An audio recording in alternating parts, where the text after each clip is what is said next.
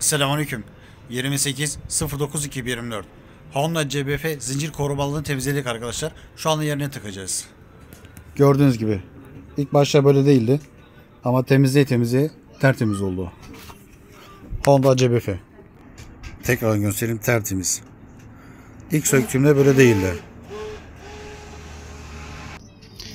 Evet arkadaşlar gördüğünüz gibi anahtarımız 10-11. Bu şekilde sıkıyoruz.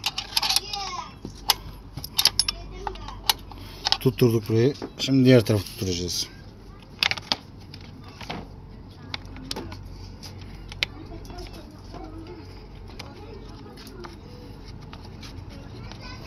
Evet. Anahtarımız 10-11. Zincir koruma temizliğini yaptık.